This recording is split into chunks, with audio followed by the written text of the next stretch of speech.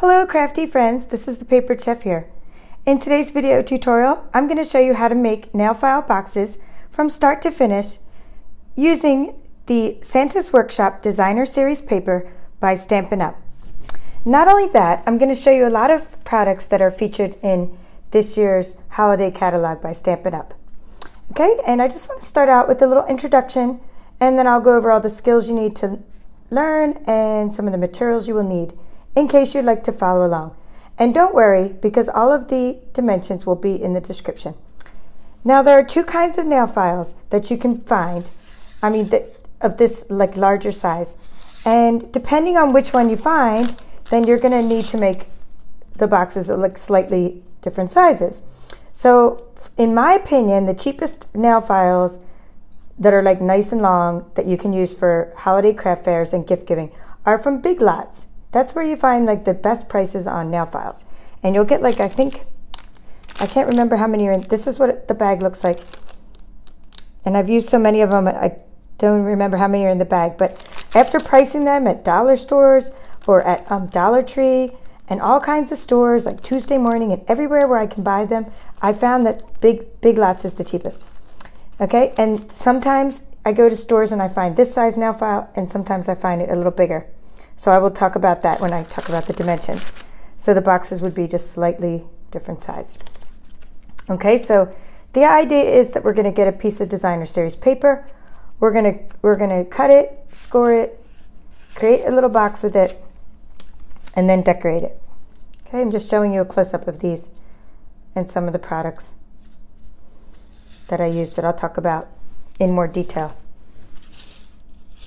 Okay, so here's another box. Every box has a piece of paper for the nail file and then a little band, a belly band going around the middle. And it also has some baker's twine. So what you will need for this tutorial, you will need some designer series paper. I hope you use Stampin' Up. I hope you have my holiday catalog and if not, contact me. If not, you just use whatever paper you have. Okay, it needs to be nice and thick designer series paper so you can score it and fold it. So almost as thick as cardstock. Cardstock will work as well. And you need a stamp set for your for your sentiments and you also need some baker's twine. Okay, and you'll need some some ink. And we'll be using a couple other things as well. Okay, so let's get started. I'm going to move these out of the way. Done my introduction. And everything on my table is from the Santa's Workshop Designer Series paper. So I've chosen for this tutorial this piece here. And every, every piece is double-sided, and I've chosen this piece here. But I'm going to actually use, nope, I'm sorry, that's the same piece. that, was the, that was the other side. Okay, and we want, I'm sorry, this piece here with the, with the Christmas trees. Okay, so we're gonna get out our trimmer and score. We're gonna open it up because I always like to have this arm open. We're gonna start by cutting the big pieces. I, so since I'm gonna have a nail file in this box, I, you always need to make sure that you cut the paper the right way. So if the nail file is gonna be like this, then I need to first cut the paper like this. So I'm going to cut my six inch piece, the long piece. Okay, and your pieces are either going to be six or six and a half, depending on the nail file. But I will mention that in the description. You just have to determine how far out you want your nail file to stick. Okay, the reason I like using six inch boxes is because then I can get you know, more out of one sheet of designer series paper, which is 12 by 12. Okay, so we've cut the six inch piece. Now we're gonna go ahead and cut the other piece, which is three and a half inches. So I'm going to go ahead and go to three and a half. And I'm using my cutter. And while you're at it, I mean, make a bunch of these. Don't just do this, like do it while you're watching TV. If you're getting ready for craft fairs, you could bring 50 of these with you. I mean, just make a bunch at once. Don't don't make one at a time. Okay, now you have your choice. You say, okay, I want the outside of the box to look like this, or the, well, we wouldn't use this snowman on the outside of the box. The pattern's not small enough. Okay, whatever side you want to be the outside, that's the side you score on because you're going to score and then you're going to fold it. So let's score now. We're going to go start with, let me move my cutting blade away. I always have to kind of label my trimmer because sometimes I'm in the zone and I forget which one's the score and which one's the blade. So, okay, now we're going to score. We're going to score at one inch. Okay, I only need to score one line. One inch, 1.25 inch. Okay, and then 2.25 inches. And then two and a half inches. Okay.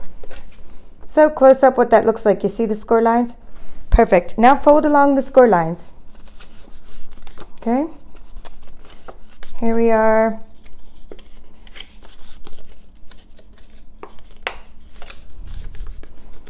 Okay, good. So now we need to make a little a little indentation for where the so to make the nail file stick out more and it just looks really cute. So take your punch.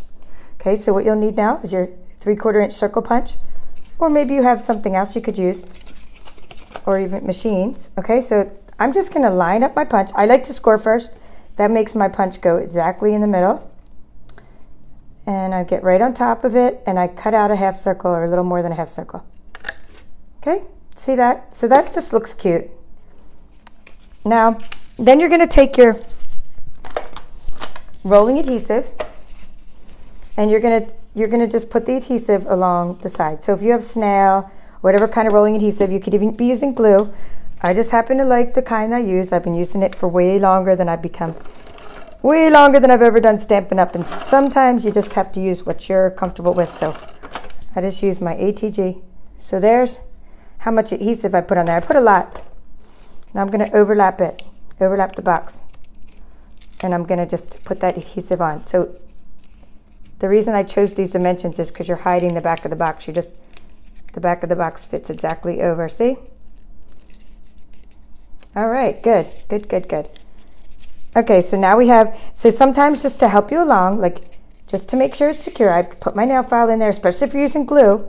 You want to keep a nail file inside there and kind of move it around so that the glue doesn't like uh, stick to the inside of your box. But I do this just to get my adhesive to stay on really good.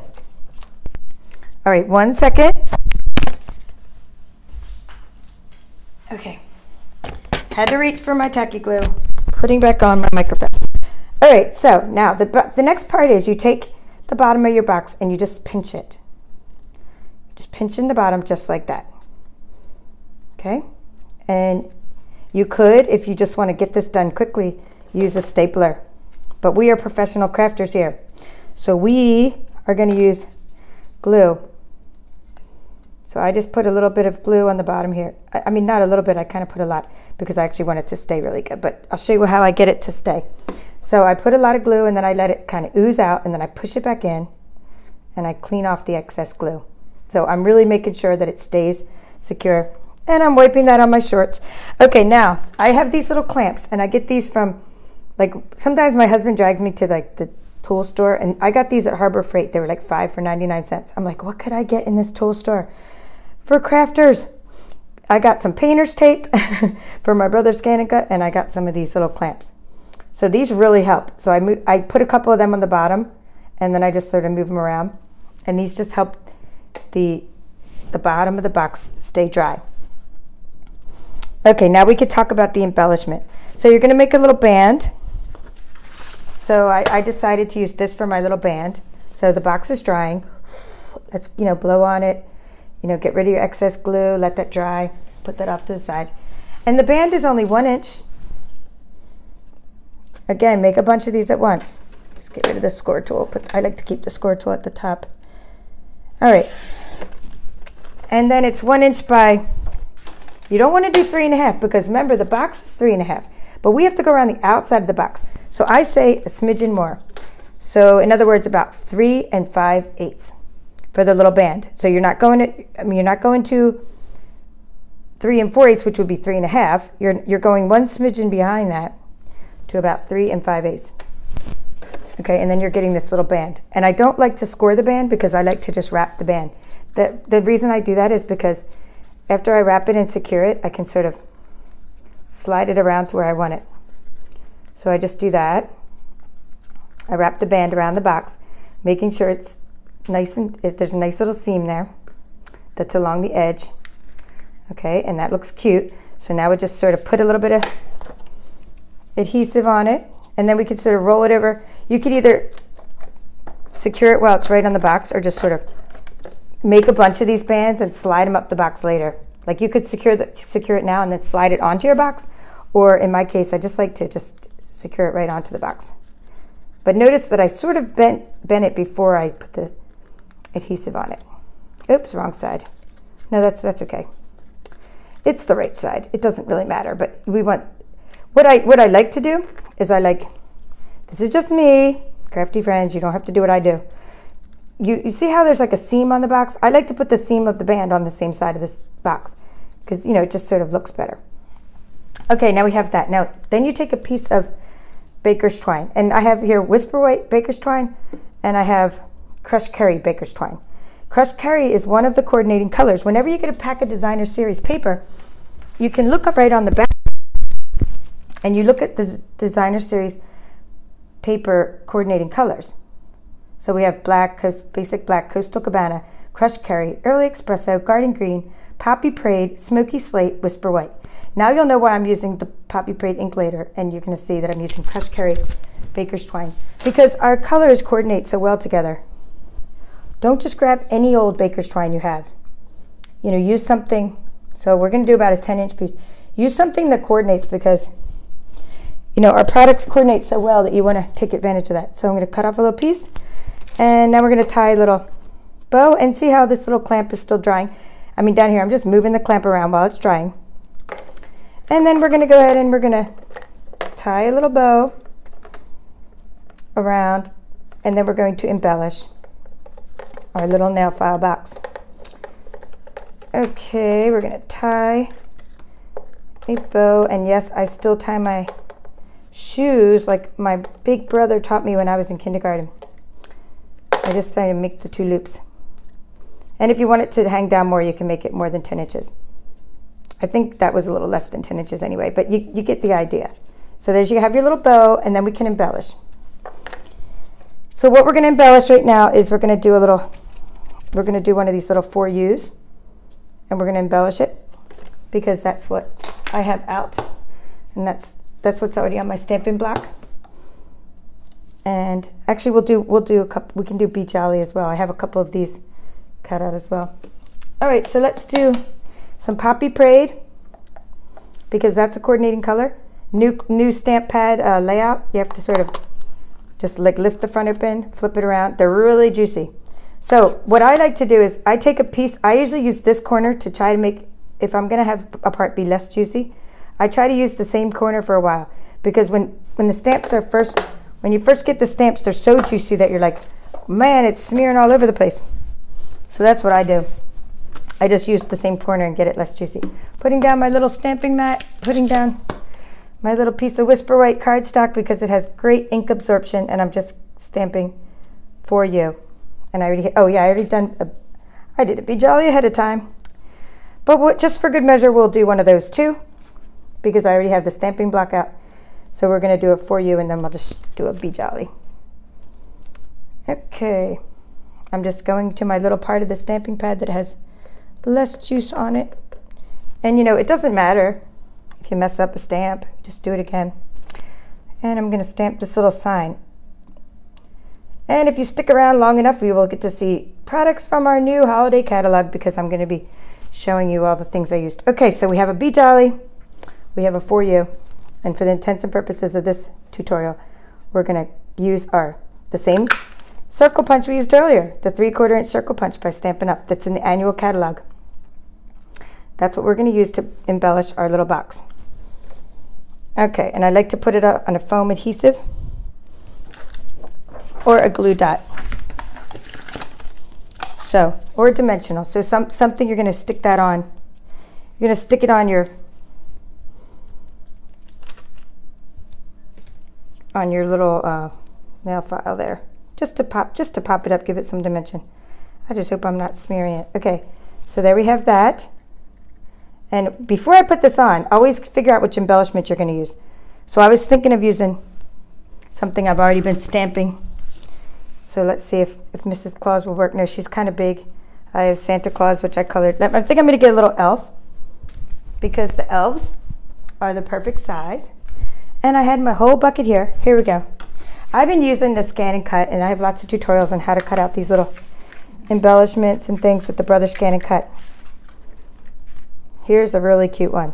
Look at that one. We're going to use that one. And then I'm going to do for you on the other side. So for you is going to go over here. That's why I said don't put your embellishment down yet until you figure out where you're going to put your other embellishments because then you want to make it fit. And I like when you have like things hanging off the side a little bit for um, added effect when you make things. I do that with my treats. I just have things sort of hanging off the side. So how cute. We have a little elf. We have for you. And we could stick any of these little things that I cut out. The really small things like I have I have cookies. I have a heart. We'll just use the tiny little heart. This this all came from the designer series paper because sometimes the stamp the uh, scan and cut will cut out little tiny things and I just have so much so many cool embellishments then to use. So we'll put the little heart in there. And then we need the nail file. Okay. Find a nail, here's a nail file. Because we did the six inch box, okay? So there's another six inch box. So there, there's two boxes. And now I'm gonna talk about the products. And then I just need to clean off my table so I don't get ink all over my paper. So I'm gonna talk about the products and I'll just go over the dimensions as I do that one more time. Okay, we we always shut our ink because before you show anybody anything, you have to always have you have to have your ink shut or it gets all over and you're like, how did I get ink all up and down my arm? And I'm moving my embellishments. Okay, so we have super cute products by Stampin' Up. So we have our we have our designer series paper. Now the dimensions when you're gonna make for the smaller nail files that you find are going to be, you're going to start with a six inch piece of designer series paper eh, by 3.5 inches of paper. Okay, and I'll have the scoring down below. And then when you start out with the longer nail file, like the kind you get at Big Lots, which I told you are a great deal, you're going to use a six and a half inch piece of paper by three and a half inch paper. And by the way, this paper's flocked, meaning it has little fuzzies on it. It's so awesome. It's three dimensional paper. That's why it's called Specialty Designer Series paper. I don't know if you can see that little fuzz on there. Okay, now you get the paper. We have a suite for uh, this, what do we call it? Santa's Workshop Suite. Okay, and in the Santa's Workshop Suite are this really cute stamp set called Signs of Santa in our annual catalog. And it came with little signs that I was using to stamp on, like these little signs. Okay, and then it came with it came with all these nice little things. I'm in the process of making lots of cards from this, so I'll probably do another video on projects you can create with the with the suite. Okay, but then coordinating with all of this is another stamp set and another suite. It is called Candy Cane Season. It is super cute, and I'm going to show you that right now. This is what I made with Candy Cane Season. So Tis the Sweet Season is a stamp, and I use Poppy Parade to stamp this onto Whisper White cardstock. And then the best is this is Poppy Parade I stamped the, the candy cane, and there's a candy cane punch that you just cut out the candy cane with the punch. So how cool is that? That's called candy cane season. And that's where the, oh, by the way, that's where the Be Jolly came from. And the For You. Okay, so that's where this one came from. For You and Be Jolly. All right, so you got to see three featured products from holiday catalog, and I'll have a link if you would like one of these holiday catalogs. I'll have a link to my Stampin' Up page where you can request one from me. So thank you for watching. This is the Papered Chef. Until next time, see you later.